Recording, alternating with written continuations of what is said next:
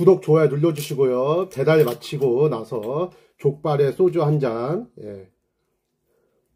소주 먼저 먹고. 족발, 음? 쫀득쫀득하게 맛있네요. 음? 한번 하고 왔습니다. 예. 소주 이거는 640ml야. 아. 우상적. 아, 뜨거. 우상적. 오상 두 건 하고 왔습니다. 두 건이라도 한 게 어딥니까? 예. 말퍼죠. 코끼리 아니고 돌고래. 그 족발탕 족. 돼지족이에요, 돼지족. 2024년 5월 24일 오늘 배달 안 했습니다. 배민 파, 파업에 참여했습니다. 어, 이미 술 들어놨고요. 제가 한 잔 소맥으로 말아놨습니다. GS 간 구독, 좋아요 눌러주시고요. 오늘 배달 한 건 했습니다. 소주.